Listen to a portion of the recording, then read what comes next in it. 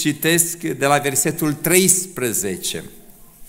Oamenii aceștia, și o să vă prindeți despre ce oameni este vorba, oamenii aceștia sunt niște apostoli mincinoși, niște lucrători înșelători, care se prefac în apostoli ai lui Hristos. Și nu este de mirare, căci chiar satana se preface într-un înger de lumină. Nu este mare lucru, dar dacă și slujitorii lui se prefac în slujitori ai neprihănirii. Sfârșitul lor va fi după faptele lor.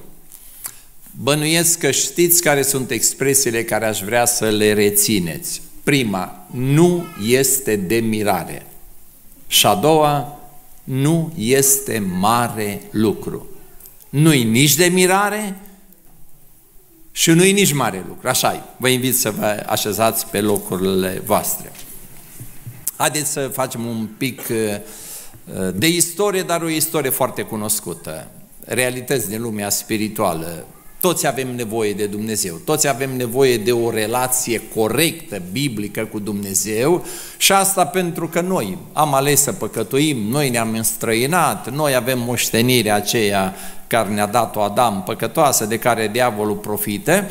Interesant că Dumnezeu care a hotărât să-și aleagă popor, că vorbim de Vechiul Testament, de Noul Testament, că la unii le place sau nu, a hotărât ca în poporul acesta lui să fie și slujitori. Și au fost slujitori în perioada Vechiului Testament și au fost slujitori în perioada Noului Testament și chiar dacă noi toți avem cuvântul și toți avem Duhul Sfânt, avem nevoie de slujitori care să ne împartă drept cuvântul lui Dumnezeu.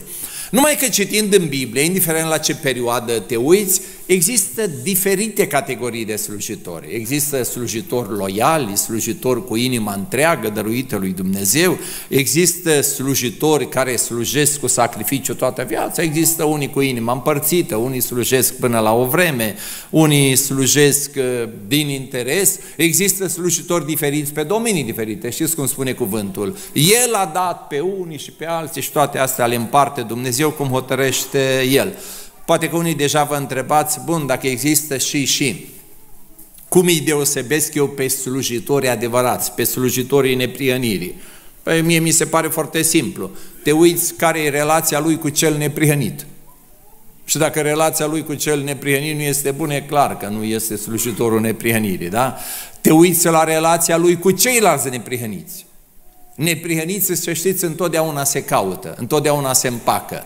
Știți ce le spun eu tinerilor, dacă nu altă dată, măcar când vine sărbătoarea nașterii Domnului Isus, că spune că era neprihănită Maria și era neprihănit Iosif. Și eu spun, domne, un neprihănit caută o neprihănită, o neprihănită se logodește cu un neprihănit, un neprihănit se căsătorește cu... Iar ceilalți, fiecare cu nelegiurile lui, da? Văd care este relația cuiva cu cel neprihănit, cu ceilalți neprihăniți, mă uit care e relația cu păcatul, un neprihănit nu poate avea relație bună cu păcatul. Totdeauna trebuie să fie o relație de eh, vrăjmășie. Mă uit la relația lor cu Scriptura, care prezintă neprihănirea, pocăința, păcătoșii și ceilalți colegi slujitori. Deci, până la urmă, să știți că sunt destul de ușor de identificat și sunt ușor de identificat și cei răi. Foarte interesant, noi suntem așa mai drăguți, nu vrem să supărăm pe nimeni, dar să știți că în general când te uiți în Scriptură, Biblia îi demască pe cei păcătoși. Foarte interesant, în prima predică, cum se spune, în predica de pe munte, prima avertizare, apropo de avertizări, știți care este? Feriți-vă de prorocii mincinoși de slujitori mincinoși și spune cum, uitați după roadele lor, a, că vin ei cu blânduri din astea, ca prin zona Sibiului, da, nu de la Sibiu, că se dau ei berbeci sau oi, dar ce caracterul lor, faptele lor, da? Deci, mereu sunt aceia, Petru spune, ei sunt aceia, îi demască, da? Ce mi se pare mie interesant, că acestea doar am zis că sunt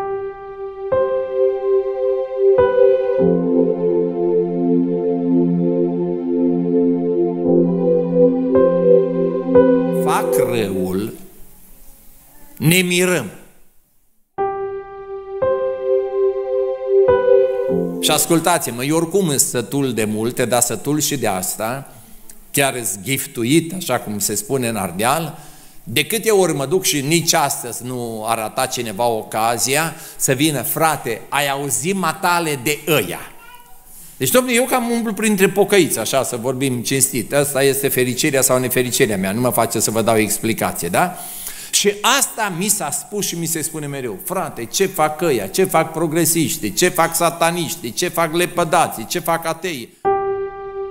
Știți, la curent cu tot ce fac ăștia în lumea rea, dar nu-i bai că curentați, adică că la curent. Știi care e baiul? Că se miră. Deci, stați să traduc eu pe românește, că pe mine m-a luminat Pavel, știți, sau Domnul prin Pavel. Știți ce ne mirăm noi? Noi ne mirăm că dracu e drac. Noi ne mirăm că satana e satană. Asta e mare mirare. Frate, diavolul turba ușă răgnește. No, asta îi miră pe pocăiți. Păi, oameni buni, eu m-aș mira dacă dracu n-ar fi drac. Noi ne mirăm că diavolul ne înșală. Păi ce să facă? Păi ăsta e el, înșelător. Eu m-aș mira înșelătorul să nu mă înșele, dar n-are cum, da? M-aș mira întunecatul să mă lumineze. Noi spunem, frate, cum îi orbește diavolul? Așa o mirare, să cum îi orbește diavolul? Păi asta face diavolul, asta e meseria lui să orbească. Eu m-aș mira diavolul să încerce să ne lumineze. Cum îi minte diavolul, frate? Eu nu de asta, știți ce m-aș mira eu? Să vină diavolul să ne spună adevărul. Nici atunci nu l-aș crede, pentru că el de câte ori vorbește, e mincinos. Bun, dar am eu un test pentru cei mai tineri, știți că voi nu știți cum e asta. Dacă diavolul vine și spune, pe cuvântul meu de onoare, să nu-l crezi, unii deja au obosit să discut numai cu voi să le dau o pauză. Fii atent, m-am gândit eu așa, dracul ăsta e drac, știi? Dar el zice că e și cinstit câteodată. Și vine așa la câte un băiat, la câte o fată de prin bisericile noastre și spune, băi, tu mă cunoști pe mine. Să uită ăsta? Nu, nu. Băi, zice, eu sunt dracul. Zice, fii atent. Ce ți-a spus păstorul despre mine e nimic. Tot ce ai auzit tu despre mine, cât îți eu de rău, de împelițat, cu coarne, cu astea, e egal cu zero. Păi eu sunt drac dincolo de imaginația ta. Dar să spun, am și o parte bună, că eu recunosc că sunt drac. Eu nu mă dau fariseu ca alții, n-am două fețe, n-am șapte fețe și spune, uite, nu mă deranjează că ăștia voștri mă pictează tot timpul. Știți ce mă deranjează? Că n-am auzit niciun predicator să spună că eu, dracu, la unul, la un milion, fac și câte o faptă bună. Da, uite, eu, satana, cât e eu de împelisat, din când în când mai fac și câte o faptă bună. Așa am hotărât eu, da? Deci îmi pare rău ca voștri nu vă spun asta, eu vă spun cinstit și ce vreau să spun o veste bună. Tu ești la milionul. Păi și dacă eu vreau, domne, să ajut și eu pe cineva, de ce să nu ajut? Cine mă poate opri? Și atâta îmbârligă și spune, știi că... Și zicea, uite bă, că în sfârșit totuși are și o luateră bună, știi?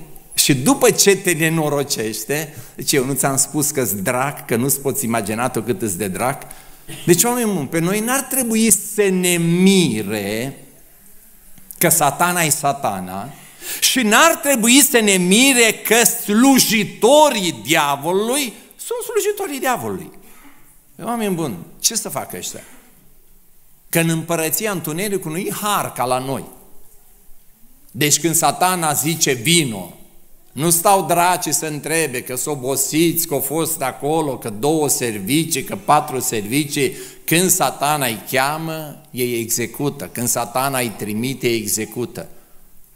Păi dacă ei sunt slujitori, sunt robii diavolului, dacă el le poruncește să mintă, să înșele, deci eu mă mir că ne mirăm, ascultați cu câtă naturalețe spune Pavel fraților, nu este de mirare că oamenii aceștia. De ce? Pentru că nu trebuie să ne mire că satana este ce este și se preface. Nu este mare lucru dacă și slujitorii lui se prefac în slujitorii ai neprihănirii. Deci când e vorba de cele rele, nu-i de mirare și nu-i lucru ieșit din comun. Ei da, vă spun eu, totuși este ceva cei de mirare și e și mare lucru. Chiar lucru de neînțeles. Știți ce ar trebui să ne mire pe noi? Când fiii luminii nu mai luminează. Asta ar trebui să fie de mirare. Cum au ajuns fiii luminii să nu mai lumineze? Știți ce ar trebui să ne mire pe noi? Cum de sarea nu mai are putere de a săra? Cum a ajuns sarea să-și piardă gustul? Vă mai spun una și apoi vă dau microfonul vouă să-mi spuneți mie ce ar trebui să mă mire. Știți ce ar trebui să ne mire? Chiar este de mirare? Iertați care nu mai au bucurie. N-ai cum să fii iertat și să n-ai pacea și bucuria lui Dumnezeu, corect? Vă dau un caz, cu demnitarul din Etiopia. El vine cu frământări, cu toate, știți, căruța, toate, uh, se pocăiește, este botezat și Dumnezeu face un lucru. Îl ia pe predicator și dispare. Nu mai rămâne predicatorul nici la pizza, nici la sarmale, nici la celelalte. Teoretic ai zice, păi ăsta trebuie să fie plin de întristare. Nu stai omule, acum am ieșit din apă și tu mai trebuia să fii cu mine, să-mi spui câteva lucruri, tu ai dispărut. Ăla vede că nu mai e slujitorul Domnului, dar ce fame nu-și vedea de drum plin de bucurie. Pentru că Dumnezeu pune bucuria și când Dumnezeu pune Duhul Sfânt în viața noastră, roada Duhului este bucuria. Pavel spune, Vereniu, nu mă mir că satana e satana, nu mă mir că satana face lucrările lui, nu mă mir că îngerii celui rău fac lucrările lui. Știi ce mă mir eu? Mă mir de frații mei din Galatia. Ei l-au întâlnit pe Hristos. Ei au avut prezentat o Evanghelie. Ei l-au avut acolo creionat, zugrăvit pe Hristos și răstignit și ei în urma salvării au avut o bucurie. Și se uită Pavel aici și spune fraților, unde este bucuria voastră? Mă mir cum vă schimbați așa de repede. Astea sunt anomaliile, nu că lumea întunericului e în întuneric. Eu cred că anomaliile nu sunt în lumea celui rău. Anormalitățile mă tem că sunt la noi, în biserică, la oameni care se laudă că îl cunosc pe Dumnezeu, dar faptele lor îi contrazic. Deci eu am zis, ar trebui să ne mire când fiii luminii nu mai luminează, când sarea își pierde gustul și când iertații nu se mai bucură. Ă, nu încep de aici că frații îmi țin predica întreagă. Coriștii, ce ar trebui să mă mire? Ești de acord cu voi. Următorul tronson, nu râdeți de ei că vă vine rândul. Ce ar trebui să mă mire? Cum? Un pic că, mai tare, că bătrânii nu prea aud. Aha. Aveți, asta mă miră pe mine. Asta mă miră și de multe ori nu știu unde să dau cu capul. Că oameni care după ani de zile de stat în biserică și de citit Evanghelia, n-au curajul să spună, nu că n-ar ști, n-au curajul să spună două fraze, știi?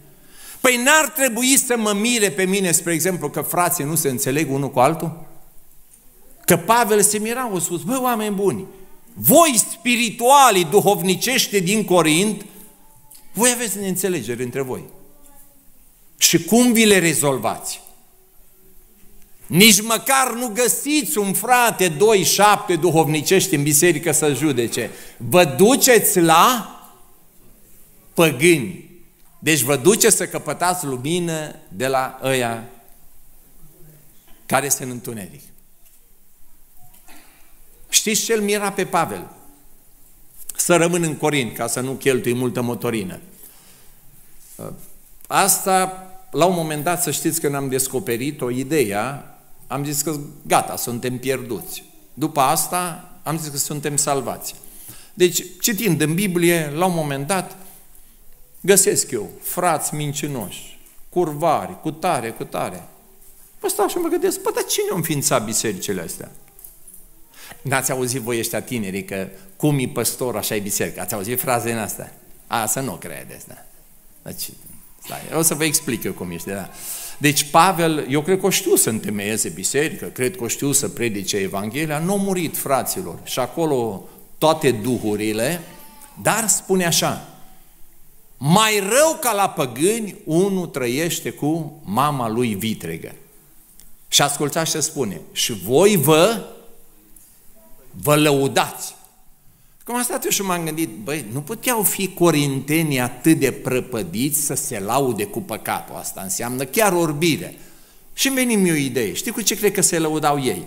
O scăpavele. Stai să ne înțelegem. Domnule, e adevărat ce spui, matale, că avem un prăpădit din ăsta. Dar, frate, procentul sfinților e mare și procentul păcătoșilor e mici. Și asta îl miră pe Pavel. Băi, deci voi luați mireasa lui Hristos și în loc să fie toată mireasa curată, imaculată, fără pată, voi vă bucurați de procente. Acum, care e mângâierea noastră a pocăiților astăzi? Nu că nu avem noi prăpădiți între noi și de toate. Avem noi, Doamne, ai milă, da? Dar totuși avem o mângâiere unele biserici. Știți care e mângâierea noastră? Și a păstorilor, nu vă spunem.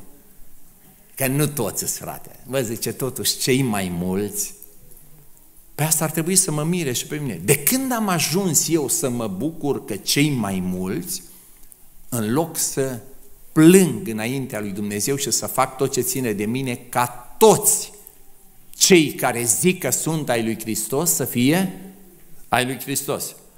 E, dacă mă întrebați pe mine ce ar trebui să ne mire, vă spun ce l-a mirat pe Pavel și ce mă miră pe mine. O să sară aia cu nebunia, că la mine nu-i puțin dică, da?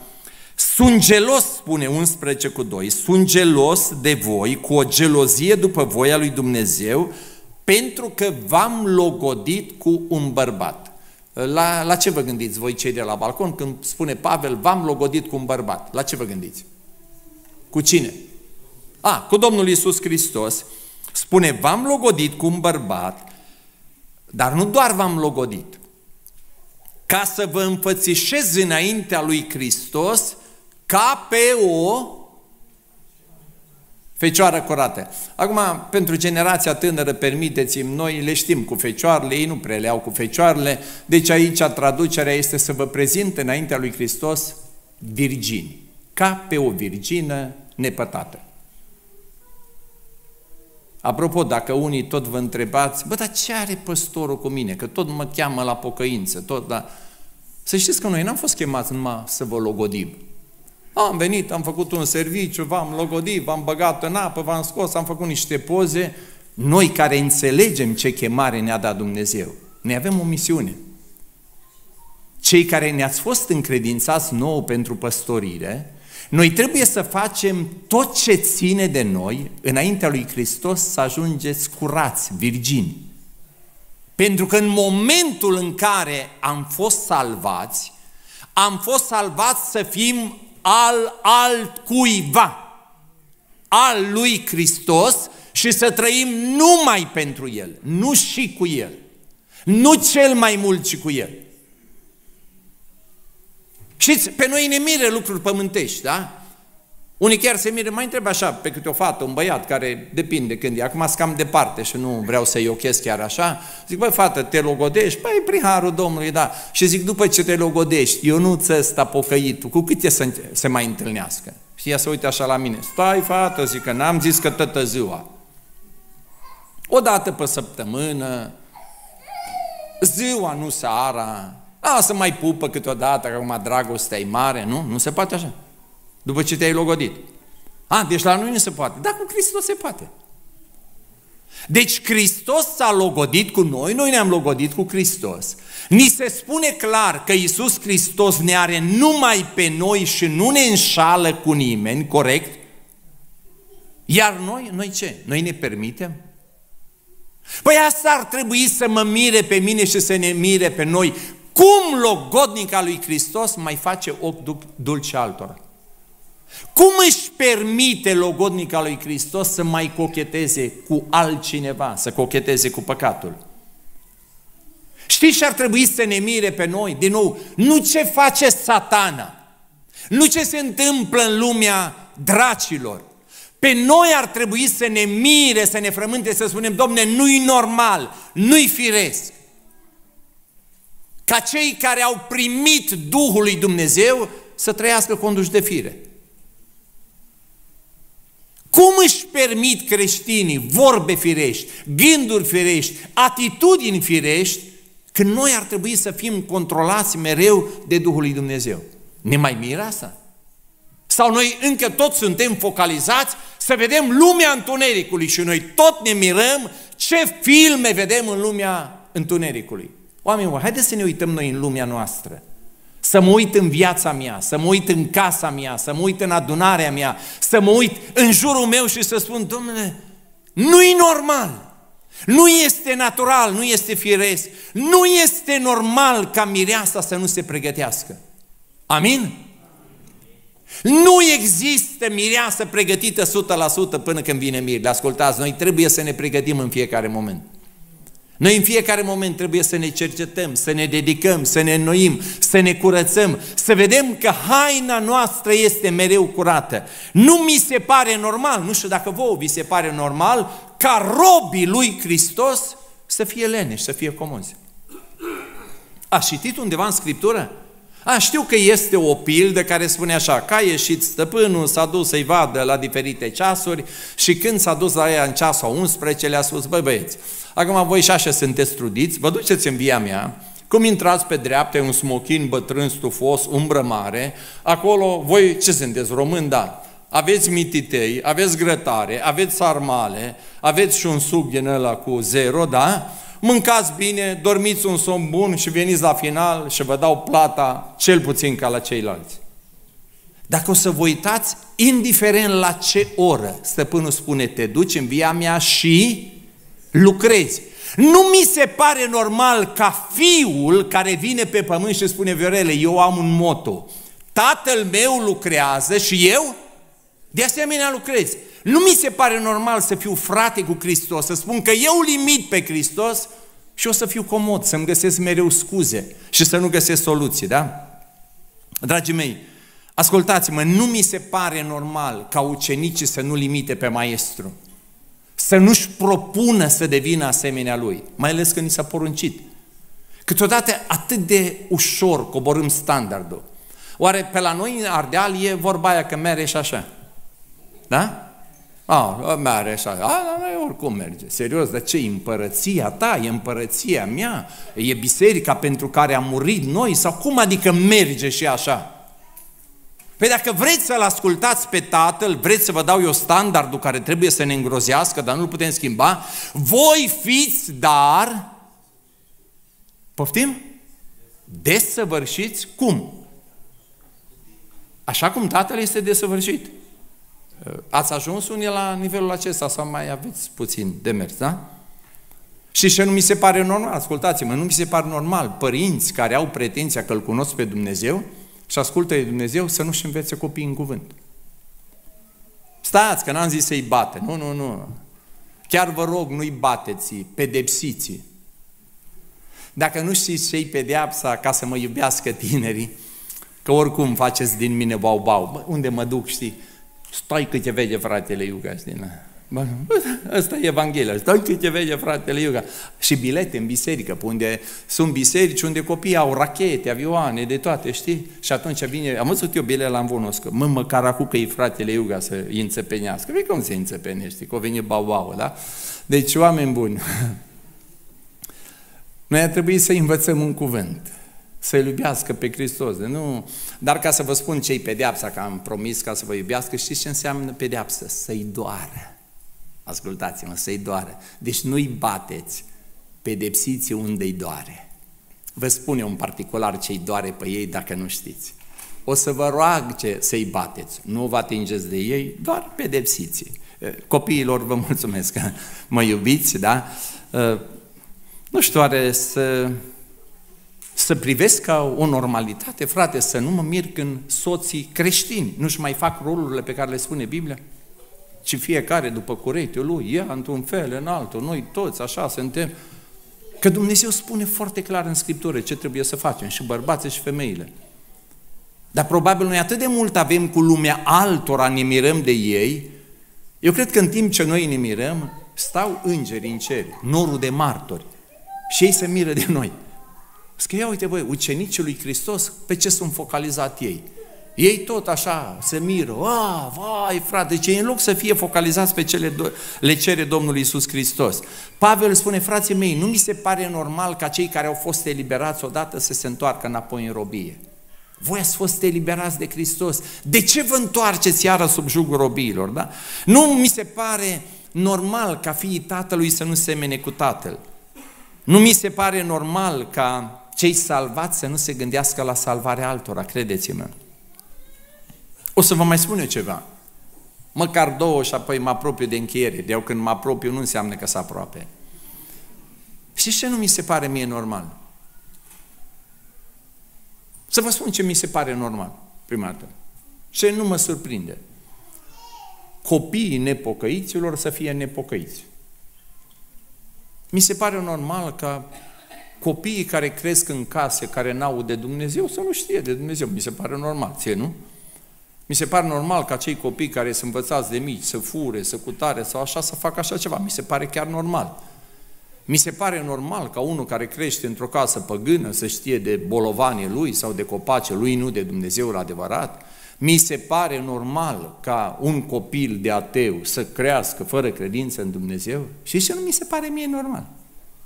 Copiii pocăiților, care au fost aduși la binecuvântare, care au fost învățați la școală duminicală, care știu cântări, care știu psalmi, care tot li se spune, ne rugăm pentru ei, postim pentru ei și nu că nu știu, că ăștia e deștepți, frate, deci ăștia ce știu? Deci sper că nu există nimeni aici să spuneți, frate Iuga, ei nu pricep. Că eu cu tot respectul, ca să mă fac prieten și cu voi, dacă o să-mi spuneți că un copil nu pricepe, și are de la doi anișori în sus, o să vă spun, ascultați, voi nu pricepeți ce pricep ei. Asta e. Deci dacă nu pricepe cineva, sunteți voi, nu ei, da? Dar nu mi se pare normal că un copil din ăsta tot să amâne împăcarea cu Dumnezeu. Asta chiar nu mi se pare normal. Pentru că ei ne cunosc, ei ne văd viața, știu că nu toți suntem fățarni, știu că nu suntem desăvârșiți, oricum ei ne filmează. Ei știu că sunt și pocăiți în biserică, numai de asta, și nu mi se pare normal, tot să amâne, tot să amâne. Știți de ce nu mi se pare normal? Pentru că am învățat că în lumea lui Dumnezeu există o regulă. Primul venit este primul servit. Amin? Și ce le spun eu? Nu știu, hai să văd cum îl vedeți voi pe Dumnezeu. În timp ce predic eu acum, să zicem că 500 de vagabonzi din lumea asta au auzit cumva de Hristos și vin cum știu ei ce spun Iisuse, ai milă de mine păcătosul. Ce credeți că face Hristos? A, nu știți, vă spun eu. Îi vede pe ăștia, bă, voi sunteți sinceri, chiar aveți nevoie de iertare, ce, trebuie să mai așteptați o leacă. Căci am o 700 de prunci de pocăiți. Ăștia de vreo 14-15 ani tot se gândesc să se pocăiască, să nu se pocăiască, că duminica asta, că duminica viitoare, că în tabăra asta, că în tabăra viitoare, că la predicatorul ăsta, că la predicatorul următor. Și ce mai așteptăm vreo 3-4 luni să vedem dacă ăștia totuși se hotărăsc. Și dacă în 4-5 luni nici cum nu se hotărăsc, atunci vă primesc pe voi, vă pun pe lista de așteptare. M-au cam bătut soarele, eh? Nu, dragii mei, ascultați, pot copiii pocăiților să fie la un centimetru de împărăție. Ascultați-mă bine, primul venit, primul servit. Păi nu încerca să mă strângeți pe mine de gât, că eu doar vă spun ce spunea Domnul Iisus Hristos, dar sunt un pic mai drăguț. Că Domnul Iisus Hristos o spus un pic altfel. Și și-o spus Eloia, care a spus că noi, barosanii, fiii lui Avram, Moise, profeții, legea, Domnul Iisus așa s-a uitat la ei și a spus, auzi, să vă spun eu adevărul, curvele și vameșile o să intre în împărăția lui Dumnezeu înaintea voastră, iar voi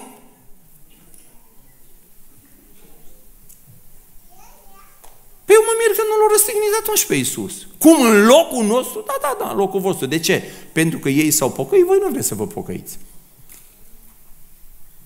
Deci îndemnul meu pentru cei nepocăiți este pocăiți-vă mai curând în viață. Și poate vă lămuresc ceva dacă n-ați fost lămuriți. Să nu vă treacă prin cap chestia asta, frate, eu mă pocăiesc și ăștia nu mă botează. De ce contează că nu te botează? Rânduia la biserici vis-a-vis de botez e una și pocăință alta. Vrei să-i întrebi, uite, pe fratele ăștia doi, pe fratele nu, nu-mi permit, dar pe voi mai tineri îmi permit, spune mie la ce vârstă are voie să creadă un copil în Domnul Isus. Cum ai zis?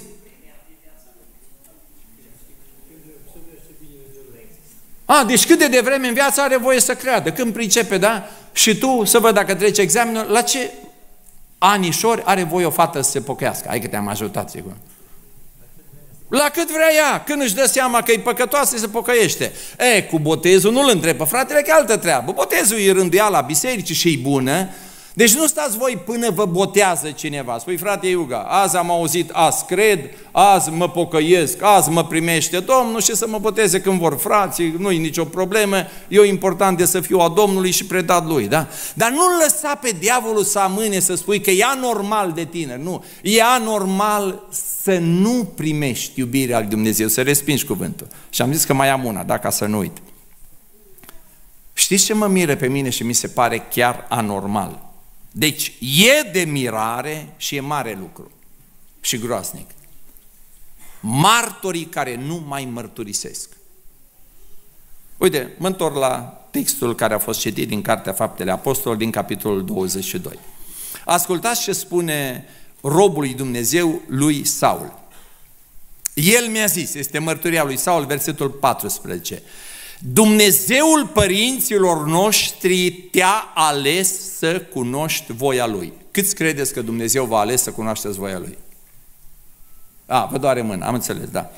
Te-a ales să cunoști voia Lui, să-L vezi pe cel neprihănit, să auzi cuvinte din gura Lui, adică să-L cunoaștem pe Hristos, să cunoaștem cuvântul lui Hristos, căci îi vei fi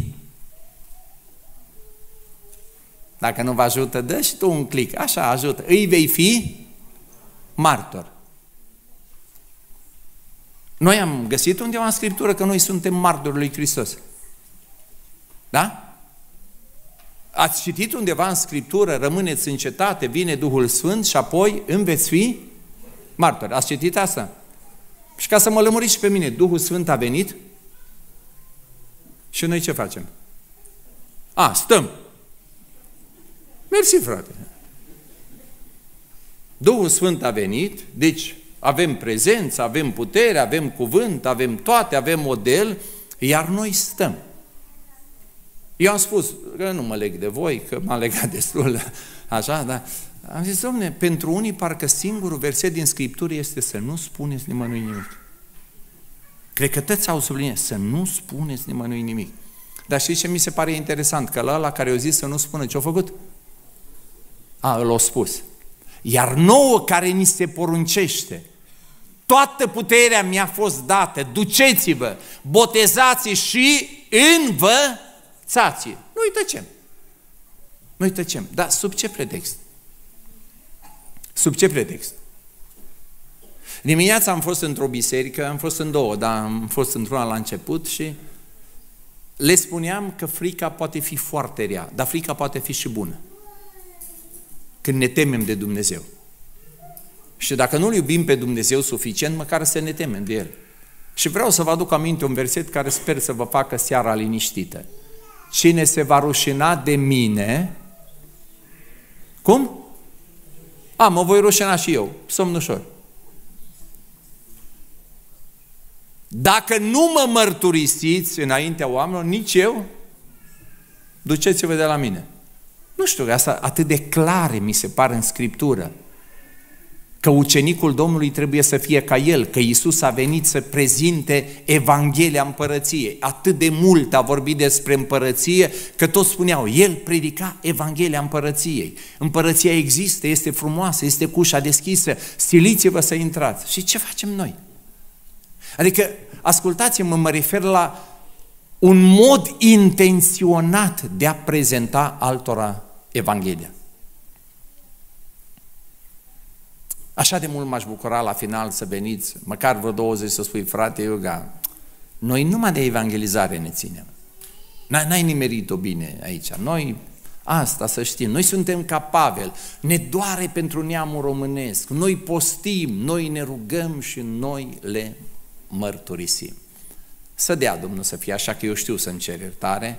Atunci, asigur, am zis pentru ăia care ne urmăresc pe internet. Știți că trebuie să găsim noi o soluție. Ei, apropiindu-mă de încheiere, a doua oară mai apropiu, ține cont, da.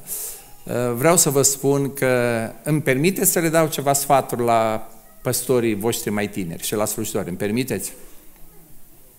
Ai bun, da. Am de ce să nu? Mă gândesc eu așa la tragedii în viață și o să vă spun câteva. Spre exemplu, să ții o predică despre bunătatea lui Dumnezeu fără bunătate. Mi se pare chiar o tragedie.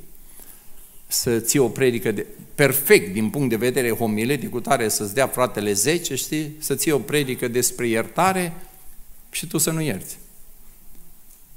Să ții o predică despre slujire și să nu slujești. Să ții o predică despre bucurie fără bucurie. Îți dai seama ce tragedie. Tu vorbești despre bucurie și toată lumea își dă seama, nu, nu te bucuri, ia bai, na, na. Gândiți-vă ce tragedie să ții o predică despre Duhul Sfânt fără Duhul Sfânt. Să ții o predică despre puterea Duhului Sfânt fără puterea Duhului Sfânt, da? Asta ar trebui să ne frământe pe noi, ca să vedeți că noi ne mai sfătăim unii pe alții cum să facem lucrarea lui Dumnezeu cu înțelepciune, nu cu nebăgare de seamă. Dar lângă lucrurile astea, care ei le-au știut, doar am vrut să vă spun că noi ne mai sfătuim unii cu alții, am învățat, nu știu dacă de vreme sau târziu, e o chestie relativă în slujire, am învățat că teoria nu e suficientă. Și am început să schimb puțin și să zic că decât să le vorbesc 50 de minute pe subiect și să se întâmple nimic, hai să vorbesc mai puțin și să le dau măcar o idee practică. Și dacă țin o predică despre bunătate, spun fraților, dar toți știți că trebuie să fim buni. Acum, când vă rugați, dacă aveți nepoți, aveți grijă, dacă vă aud nepoții rugându-vă, să vă rugați înțelept. La noi era o bunică și tot se ruga, Doamne, fă nebuni, Doamne, fă nebuni. Și nepoții au zis, bunică, nu te mai ruga, că sunt destui. Deci trebuie să ai grijă, cum spui, ca să înțeleagă și generația tânără, da?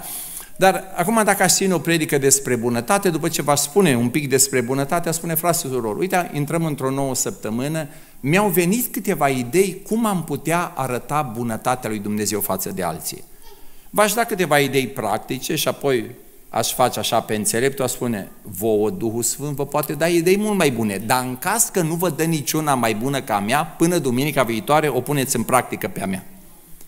Și dacă aș vorbi iarăși pe un alt subiect, da, v-aș da o idee practică cum să faceți lucrul ăsta, așa am făcut, unii mă contrazic, dar eu uh, rămân perseverent și ei trebuie să facă. Dacă ei nu vin cu idei mai bune, după asta îi întreb eu, ai pus în aplicare ceva? Păi n-am avut nicio idee, pe mea nu, atunci deja e problemă.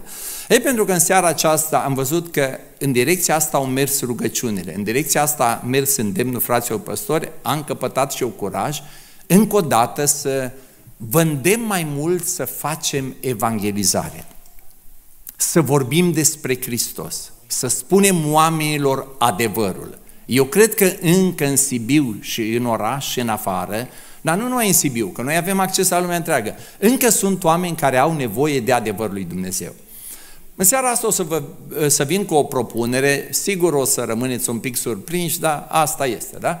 Ă, câți dintre voi ați văzut ă, așa ceva? Scrie carte cu rugăciuni. Acum la ușă, da, da. Nu, că noi nu suntem cu de asta. Noi, pocăiți, nu suntem cu cărți, cu rugăciuni. Ă, pot să vă mai rog ceva, să nu, să nu mai spunem minciuni noi pocăiți. Nu știu, câteodată, una din minciuni, care pe mine m-a dat, o să că noi pocăiții ne închinăm lui Dumnezeu duminica. Și noi ne și lăudăm cu asta. Noi ne închinăm duminica. Zic serios, dar lunia, marța, miercurea, vinerea, ce facem noi? Noi ne închinăm lui Dumnezeu în fiecare zi. Amin? Am bun. Deci asta am lămurit-o, da? Și a doua chestie, noi le spuneam la alții că noi nu avem rugăciuni scrise. Serios? Ați auzit careva de rugăciunea Tatăl nostru? A, e scrisă, frate. Ai citit vreodată rugăciunea lui Daniel? ai folosit că noi după ce noi spunem că noi nu luăm idei de la alții la rugăciune, serios, dar aproape la fiecare îndemn la rugăciune, de unde le citim? Din carte de rugăciuni, din psalmi. Da, așa, ca întrebare, Ați zis vreodată, nu nouă, Doamne, nu nouă, ce numele Tău. Ați zis, cam cât a zis? A, ați folosit din rugăciunea cuiva. Deci nu mai ziceți că nu luați din rugăciunile altora. De la balcon a zis careva, cercetează-mă Dumnezeule și cunoaște-mă. Ați zis careva? Vezi că asta a fost rugăciunea cuiva. Și ați luat-o și vă lăudați că n-ați luat-o. Nu-i cinstit cu copy-paste-ul, cu... Nu, spui, domne, am luat-o de acolo, da? Atâtea lucruri care le avem. Deci să nu spunem oamenilor că noi nu, să spunem, domne, noi diferit. Avem lucruri comune, avem lucruri diferite. Asta, și ce v-aș recomanda? Să o dați la un începător să o citească. Bănuiesc că noi toți știm să ne rugăm, Duhul Sfânt, în schimb, mijlocește pentru noi cu suspine negreite, că nu știm să ne rugăm, dar în fine, nu mai intrăm în chestia asta, dar probabil că sunt începători, copiii voștri, oameni din afară care nu știu prea bine să se roage. Ar fi de ajutor să învățăm să comunice corect cu Dumnezeu. Că dacă tot învăț, învățăm cum să comunice soțul cu soția, șeful cu subalternul, poate învățăm pe unii și cum să comunice cu Dumnezeu. Din punctul meu de vedere, dacă ajuți pe cineva să comunice bine cu Dumnezeu, îți poți lua o leacă de vacanță. Numai să-l ajuți să comunice corect cu Dumnezeu. Dar de asta chiar n-ați văzut, nu?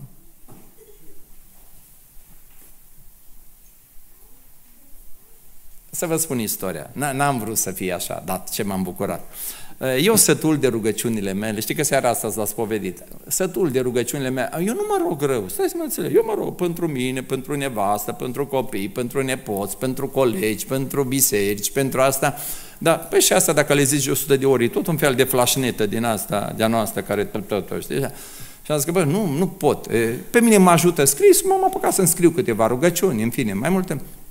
Nu vă dau toate detalii, o să citeți voi acolo. Și după ce am văzut că cineva a văzut parte din ele și a zis, bă, dar asta chiar îți bune. Știam că ai, poate le dau cuiva, știi, începători. Și m-am dus la o editură și zic, faceți și mie o copertă. Frătiuță de acolo, că vreți o copertă clasică? Eu, da, știi naivul, că eu, nu, prung de pocăiți. Ăsta îmi dă asta. Eu când am văzut am zis, aleluia! Atunci mi-a venit ideea. Am zis, bă, asta nu respinge nimeni. O pot da cui. A, nu vă pot spune ce i-am zis lui. I-am zis, bă, frate, ce fac cu sfântoce? Că ea nu pun mâna pe asta. Fă-mă două o copertă, nu se poate. O că se poate, mi-au făcut-o. Rugați-vă prin Duhul Sfânt. Unul că nici asta nu-i bună.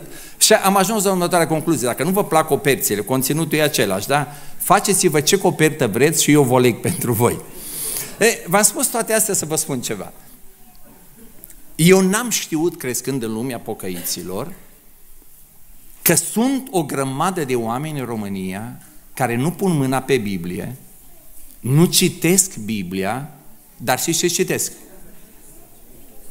Cărți de rugăciuni. Și acum, dacă tot vă zic, vorbiți cu alții despre Hristos, vorbiți, m-am gândit să vă dau un cârlic.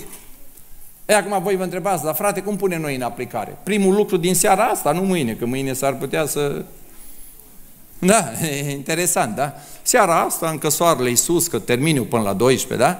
Și te duci acolo, suni și primul lucru. Eu nu m-aș risca, dacă să nu cumva să sun să spui, vecine, știi că eu sunt pocăit, pocăită. Eu zic, hai să o luăm așa mai, să spui, vecine, vin de la biserică, că ăsta chiar e adevărat. Zici, vin de la biserică, a fost un moș seara asta la noi și ne-a adus carte cu rugăciuni. Tu știi că noi pocăiți nu suntem obișnuiți cu astea. Și ce vreau eu? Tu care ai și citești, ia-o și verifică Înainte de a o citi, o verifică tu să vezi dacă rugăciunile astea sunt bune, cum trebuie, și îmi spui dacă, da, poate că ați găsit un vecin, un coleg care să verifice, nu? A doua variantă, dacă nu vă place asta, te duci la cineva și întrebi. Auzi, Mariana, tot am vrut să te întreb, adică n-am vrut, nu minți. Spui, m-a zis unul să te întreb, tu ai carte cu rugăciuni?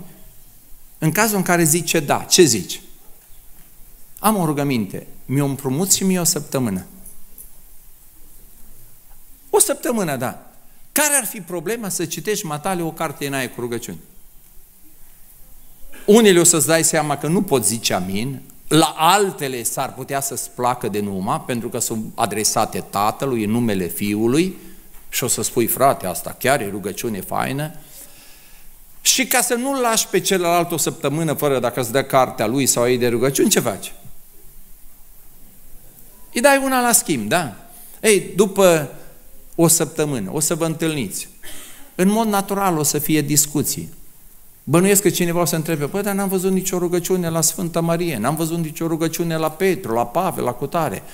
Și tu o să spui, Domne, stai să explic, noi îi respectăm pe sfinți, noi le punem la copii numele de sfinți, le-am pus, nu le mai punem acum, ne uităm pe la filme și pe la asta, da, cândva le-am pus, da? Dar măcar păstorii noștri ne predică, dar noi ne închinăm doar lui Dumnezeu, pentru că am citit în Scriptură, Domnului Dumnezeului tău să-i te închini și numai Lui. Aha. E, ce o să faceți în momentele astea? Ce o să faceți? O să vorbiți cu oamenii din Sfânta Scriptură. Ei o să vă pună întrebări, voi le puneți întrebări și ascultați-mă, ce m-ar deranja de tot și ar fi mare mirare pentru mine să vorbești cu cineva de rugăciune și să nu faci o rugăciune. Nu știu câți dintre voi ați avut bucuria să vă rugați cu oameni din afara bisericii. Încercați în seara asta încercați și în alte ocazii. Eu n-am făcut legământ că mă rog cu oricine mă întâlnesc, dar de obicei mă cam rog. Una din marile mele bucurii e să mă rog cu oamenii care nu știu să se roage ca noi. Mă rog, în casă la ei, în casă la mine, pe stradă, nu scar ca nea Marcu Chifor, dar... Și o să vă spun ce o să experimentați. Că dacă omul nu te bagă în seamă, pleacă, te lasă vorbind singur și tu te rogi, care nu e nicio problemă, că oricum ești cu ochii închiși, nu vezi că pleacă, deci n-ai probleme. Dar, dacă tu te rogi înțelept, și tu te rogi, Doamne, binecuvântă-l pe Nea Vasile cu sănătate, el nu tace. Știți ce zice el? Tu te rogi, el, mulțumesc frumos și pe dumneata, tu dai mai departe, Doamne, nevasta lui Nea Vasile și pe dumneavoastră, Domnul, dacă ajungi la copii, la nepoți, tu te rogi pentru a lui, el te, Doamne, dacă are și Domnul Iuca și pa lui, mulțumesc frumos. Deci el discută cu tine, atâta bucurie are, știi, că nu se roagă nimeni pentru el. E, de la un cârlig poți face ceva. Am zis că pot să fiu înțelept să spun, Duhul Domnului vă poate folosi și altfel. Puteți încerca și alte metode. De azi zice să o încercați și pe asta. Să vedeți dacă puteți ajuta pe cineva, că este vorba de începător, că este vorba de unul plictisit și își repetă aceleași lucruri. Dacă putem să ne ajutăm unii pe ceilalți, să comunicăm un pic mai înțelept, un pic mai frumos cu Dumnezeul nostru. Și ce spunea Pavel? Hristos este mirele nostru. Până n-ați fost măritate, vă alegeați cuvintele cum vorbeați cu ghiță. Nu ghiță de aici, ăla a meu. Știți când vorbim cu o persoană, câteodată așa ne luăm de șireturi cu Dumnezeu, nu ne măsurăm cuvintele, dar înțeleg că Dumnezeu îmi dă voie să mă apropiu oricând, oricum, că pot să folosesc un limbaj frumos. Că Dumnezeu care este stăpânul Universului spune că e prietenul meu, că e părintele meu, dar să nu-i niciodată că El este stăpân.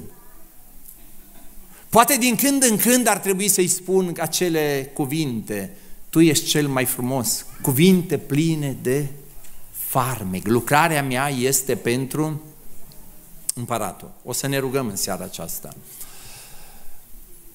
În seara aceasta nu vreau să vă rugați pentru lumea întunericului. Măcar în seara asta să lăsăm lumea întunericului să meargă în direcția ei. În seara asta aș vrea să ne gândim la noi. Dacă pentru ceilalți este normal să fie așa, oameni buni, sunt lucruri clare care nu e normal să se întâmple în viața unui mântuit, în familia unui mântuit, în biserica celor mântuiți. Sunt anomalii în relația noastră cu Dumnezeu, în relația noastră cu frații, cu cei dragi, în relația noastră cu semenii.